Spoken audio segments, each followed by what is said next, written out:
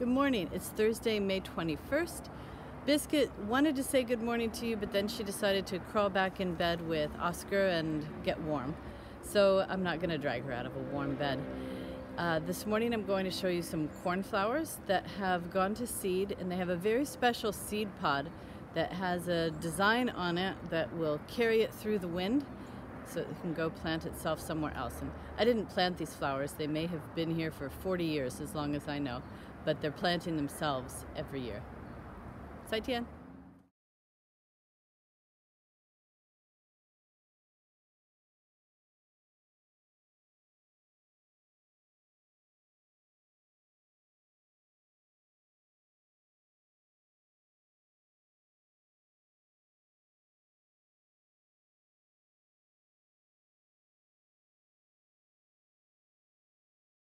Woke up just as I was editing the slow-mo.